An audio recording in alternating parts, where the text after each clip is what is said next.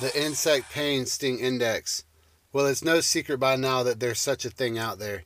In fact, one scientist by the name of Justin Schmidt had done several years worth of research on studying the pain of different stinging insects around the world.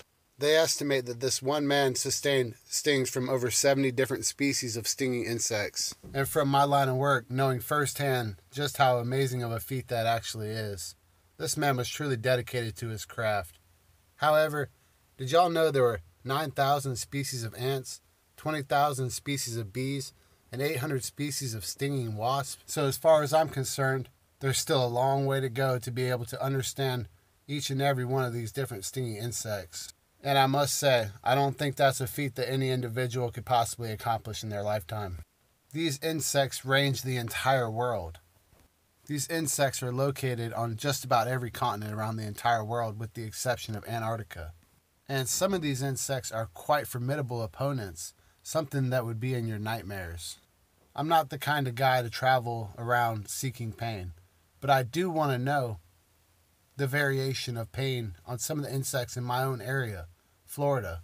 So I'm going to work my way up the insect pain sting index, just as a few handful of others have done in the past. Many of these insects have never been documented or tested, so it's really just going to be a bit of a surprise for everybody. In that process, we're going to create something brand new the Insect Danger Guide.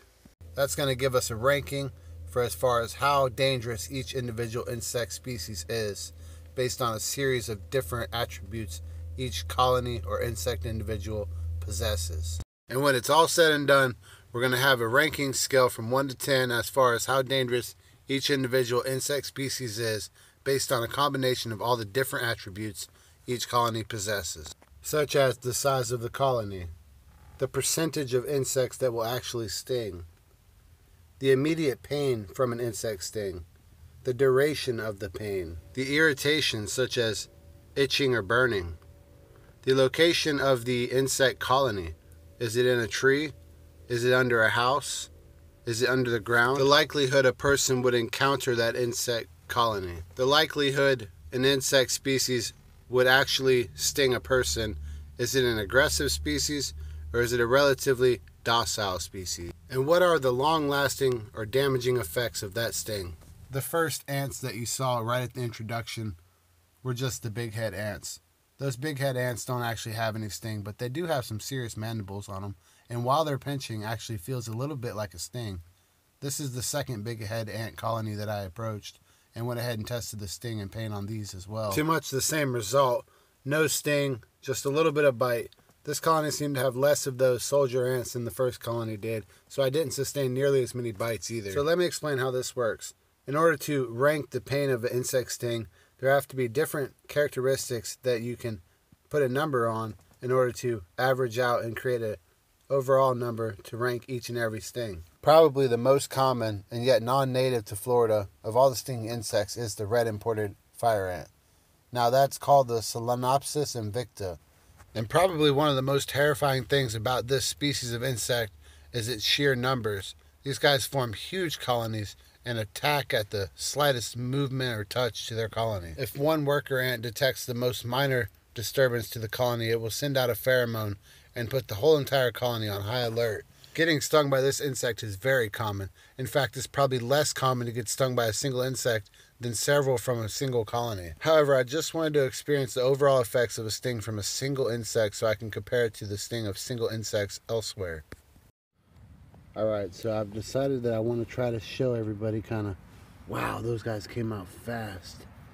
Just kind of show everybody the progression of insect stings in Florida. This insect sting could perhaps be the least painful of all the insect stings, but the problem with the fire ant is, like we said before, you're more likely to get attacked by several than just one. Now, initially, there's quite a bit of burning sensation. It's almost like a small ember had landed on your contact area, and it feels like you got burned slightly. Just a few minutes later, swelling starts to form. And as the insect's venom starts to travel throughout your body, the burning sensation turns into more of an itching sensation, and the tendency to want to scratch it is almost irresistible. In fact, many times these insect stings are over exaggerated by the amount of scratching that is created afterwards. All right, so we're 10 minutes in.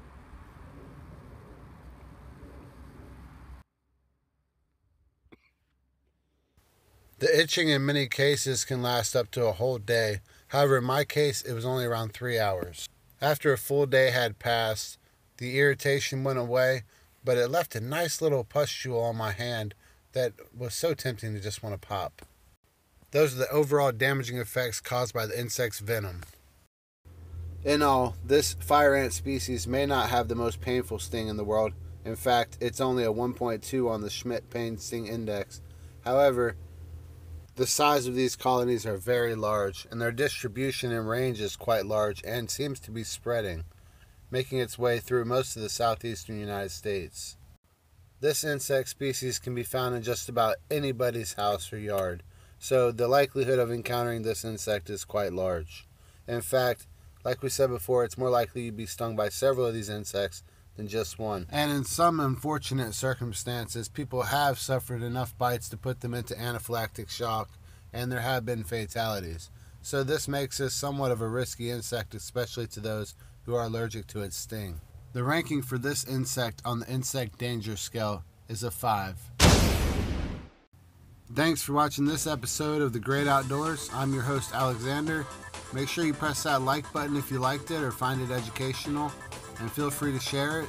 Also, make sure you subscribe and tune in for future videos. We do a lot of snake videos and insects and creepy crawlies.